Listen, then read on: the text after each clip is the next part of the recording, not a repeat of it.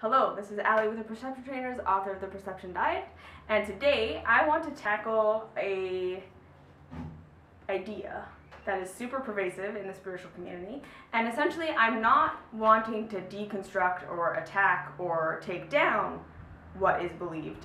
Um, I simply want to express maybe a different perspective of what is being believed right now in order to help you find a little bit more freedom and joy and happiness in your life. Okay? So, the thing that I want to talk about is this idea that your thoughts create your reality.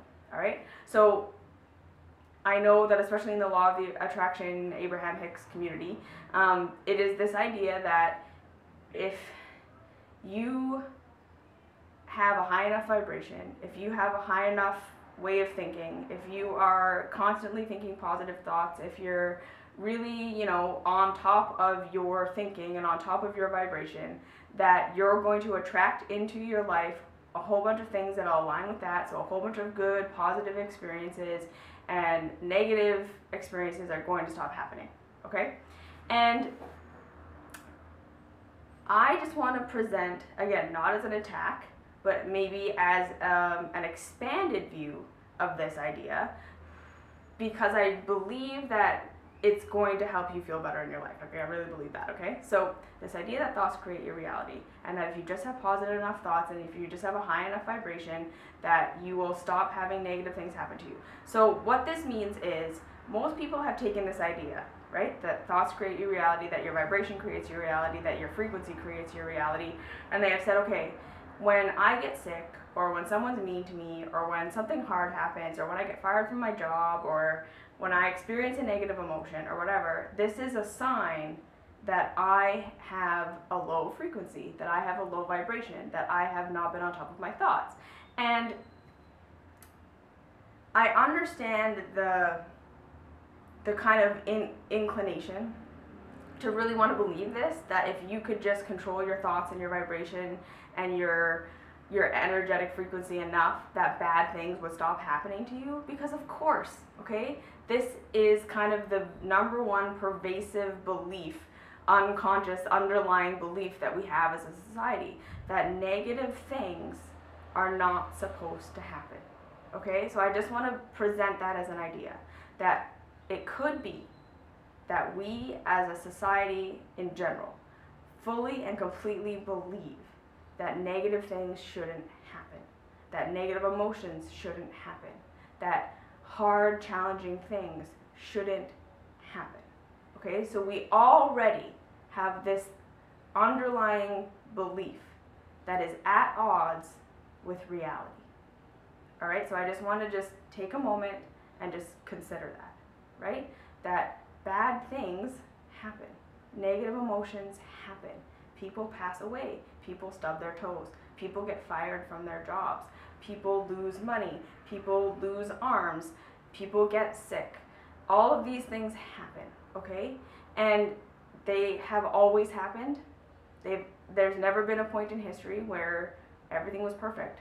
I mean, I guess we think that in maybe in Eden or whatever, but you, see what I'm saying? Generally speaking, the the reality that we can take that we can account for um, the human history that we can prove existed, there were always problems. There were always things that happened. There were always challenges. People always experienced negative emotions. This is a part of our humanity. Okay? So, if this is the case, right, and we're telling ourselves that these things shouldn't happen, already we're setting ourselves to are setting ourselves up to be in more pain when these things happen than we would be if we just fully understood that these things are part of life. That these things are going to happen, whether you're the most positive person or the most negative person. Awesome things are going to happen to you, and hard things are going to happen to you. Okay? You're a human. That's a part of this life. Okay? So that's number one thing. We are at odds with reality as soon as we have decided that bad things shouldn't happen that negative emotions shouldn't happen. And we automatically build up resistance in ourselves to reality when that happens. Okay? So, what if, what this idea um, that our thoughts create a reality actually is pointing at is the idea that your thoughts create your perception filter that then dictates how you experience reality. Okay? So I want you to consider this. What if it's not that your vibration is low that you got sick? What if it's not that your thoughts weren't pure that you got fired? What if it's not that you did something wrong energetically that caused something negative to happen to you? Okay? What if everything that happens to you is a part of your path? Everything that happens to you is a part of what is supposed to happen. So if that becomes your new belief, right? So if you substitute the old belief that bad things aren't supposed to happen and something has gone wrong when they do, to say nothing has gone wrong, this is life, this is what's happening. I don't like it. I don't want it to be that. I don't I don't agree with it. Sure. But this is what's happening. And what if you choose to then take on a belief that everything that happens to you happens for your good? Right? So what if you're the type of person that when you stub your toe, you say, what was the positive intention in that? Where's the blessing in the fact that I just stubbed my toe? Mm, I'm rushing around and I wasn't present. So this was a reminder to pull me back into the present moment. So now I have this belief. So this bad thing happened, but I perceived it, my reality of it is that I was being reminded to slow down and, and uh, take stock of how awesome my life is. Right?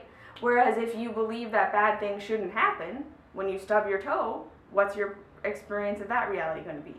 oh, my vibration was low. I'm a piece of shit. Like, what's wrong with me? Why did I do that? Or like, what's wrong with this table? What's like, why is life so against me? What's wrong with the universe? And that's going to be your experience. That's your reality. So you see what I'm saying? Your beliefs, your thoughts absolutely dictate your reality, but they don't dictate what happens. It's not dictating actual reality. It's only dictating your perception of that reality. Okay? So, and again, I know that what this might sound like is that I'm saying that you have no control over what happens to you, right? I'm telling it, it sounds like what I'm saying is it's inevitable that bad things are going to happen to you and there's nothing you can do about it and all that you can do is change your perception of it. And I just want to suggest that like of course, when we're so against experiencing negative things, when we're so against feeling negative emotion, when we're so afraid of negative experience and negative emotion, it's going to feel like blasphemy for someone to tell you that there's nothing you can do, those things are going to happen to you. Right? Of course. Because you don't want it, because you hate it, because you're afraid of it, because you believe that it's bad. You believe that it shouldn't be happening. You believe that it's a sign of something going wrong. So you're going to want to have a system that gives you control over stopping those things from happening right? That's why this teaching is so attractive. The teaching that your thoughts create your reality is so attractive because we are so hell bent on believing that negative things and negative emotions shouldn't be happening and that there's got to be some way that we can stop them from happening, right? That's why we like that teaching because we foundationally, fundamentally believe that bad things shouldn't be happening, right? So I'm saying, what if we take a step back and look at reality? right? And we say this all the time. Why do good thing? Why do bad things happen to good people, and why do good things happen to bad people? That doesn't seem to make sense. Okay, well, what if it does? What if it makes perfect sense? What if it's just everything that comes into your reality is there to teach you what you need to know? Everything that comes into your reality is there for your experience, your expansion, your growth. Okay, and I think we can all look back on our lives and see things that at first when they happened it felt super negative. It felt terrible like you got laid off from your job or you broke up with your girlfriend or you know someone told you that they hated you or you know you went through anorexia whatever. You look at it you think that was really negative that was really bad. And then now on the other side of it you think well but yeah like i learned and grew so much from that experience right? I am the person i am today because of what i went through right those negative things actually turned out to be something that really empowered me right? Like for me, I would not be the person that I am today. I would not have the strength that I have today. I would not be able to sit here and make these videos for you had I not gone through the process of healing from anorexia. And so therefore having anorexia. And I don't look back and think, oh, my vibration was just really low that I got anorexia. It's like, sure, my vibration was low and like I was in a negative place and all of that stuff, but that journey in and of itself gave me the ability to be the person that I am today. Right? I would not be here doing this had I not gone through that. I would not have the strength to put myself out there. I would not have the strength to put myself out there and have people come at me and tell me that I'm wrong and I'm stupid and like I'm 27, what could I possibly friggin' know? And like all this stuff. Like, of course, I would never do this if I hadn't gone through what I've been through. I wouldn't have the understanding of the universe that I have had I not gone through what I went through. So like here's another thing. People ask me all the time, how do you know what you know? How how are you so wise? How do you have all this stuff? Well, because I went through a whole bunch of shit. That's why. That's literally it. And instead of sitting around thinking about how it shouldn't have happened, and instead of sitting around trying to figure out how to get out of it, and instead of fig- trying to like avoid negative emotion or run away from it or whatever. I went just into the eye of it. I said, okay, well, this is my reality. I'm sick and I need to change. And there's a whole bunch of shit that needs to change. And there's a whole bunch of pain that I need to look at in order to change. And I did. Right? And that's why I know what I know, because I didn't resist my reality. I stopped making it wrong that I was where I was. I stopped saying something's gone wrong here. I said, what if this is exactly right? What if this is my journey? And I stopped resisting it. So now, people might look at me and think, look, her vibration is super high, right? You must look at me and think my vibration is high. And guess what? Shit still happens to me all the time, all the time, right? I, I still miss the bus. I still have people come and tell me that they think I'm stupid. I still have fights with my my partner. I still have fights with my sister. I still stub my toe all of these things still happen to me. Bad shit still happens to me. I still feel sad. I still feel angry. I still feel emotional. Okay? The only difference is I'm not in resistance to it. I'm not telling myself that it shouldn't be happening. I'm not telling myself that it's because I'm wrong or I'm bad or I've done something wrong or bad that this is happening. Right? I now have a belief that says everything that's happening should be happening. This is reality. So what am I going to get out of it? What am I going to mine from it? Right? What am I going to take from this? And so the last thing that I just want to leave you with is that, like, all of the enlightened people that we've ever known, right? All of the people that to us seem like they're in this really high vibrational state, this really awesome vibrational state, this like enlightened guru state. All of them say the same friggin' thing that negative emotions still arise, that their friends still die and they get sad when that happens, that they still stub their toe, that they still get angry and frustrated and, and get setbacks and people tell them they're stupid and all these things still happen to them. But they no longer look at that as something going wrong. Okay? They just accept it and they go with it and they allow it to be what it is. And that is what removes like 99% of the pain that we experience in life, anyways. So what I want to say is this: if you're holding on to this idea that if you just think good enough or do whatever, that your that negative stuff is going to stop happening to you, and me telling you that negative stuff is always going to happen to you really insults you, I just want you to consider that perhaps it's because you have a foundational belief that tells you that bad things shouldn't happen, and that is what's causing you the pain when those bad things happen. Okay? So just think about that.